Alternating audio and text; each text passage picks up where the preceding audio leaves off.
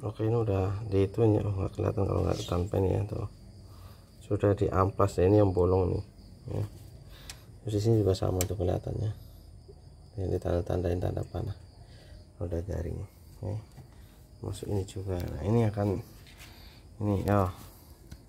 Tapi sebelum kita solder kita ini ke sini biar profesional dekat-dekat sini. Nah ini, nah kita ambil dulu pastanya kita taruh sini lihat yang di sini nah gini ya kita olesin kayak ini ini maklum ini anak umur 7 tahun yang lagi megang ini Hmm. Hmm. Jadi sekarang disolder ini lihat sini jangan lihat muka saya dong. Kelihatan nggak? Nah, ya udah sampai nekuk nih tangan ya. Coba bisa apa nggak pakai solder? Wah, plus kan. Hmm.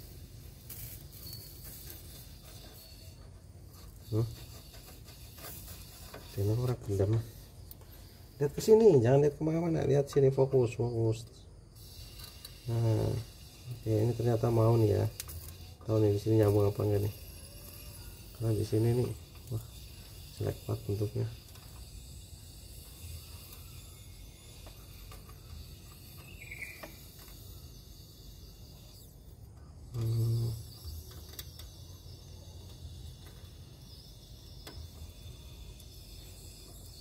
harusnya kita pakai yang bakar ya tapi ini aku tetap nggak kok tetap melompong begini ya tas lihat tas tuh.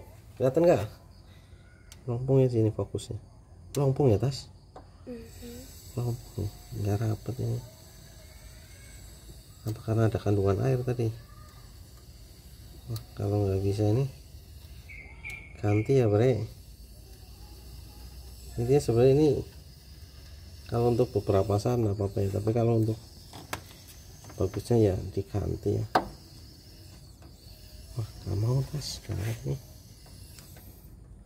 Wah, malu nih. Nempel sih nempel tapi di bagian lubang malah dia tambah lebar nih. Hmm, hitam hmm. ya ini adalah tutorial sesat. Semoga anda tidak tersesat juga. Harusnya sih mau sih udah dipasta juga Kok kamu ikut gemetar tas Sampai pegel kok tangannya. Hah? Itu jangan kaku. Oh, karet. Harusnya memang yang dibakar yang disemprot bakar itu. Ini mah karena tekanan air copot ini.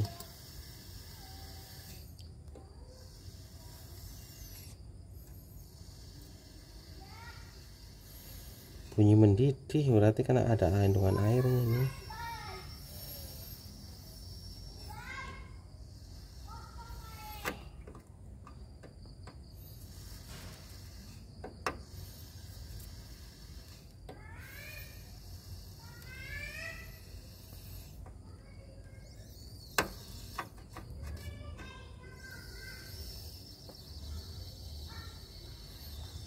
Oke lah begitu contohnya ya begitu aja. Nanti kalau ada ininya hasilnya tak kasih data ini belum bagus anaknya pegel katanya. Terus? Ya udah dulu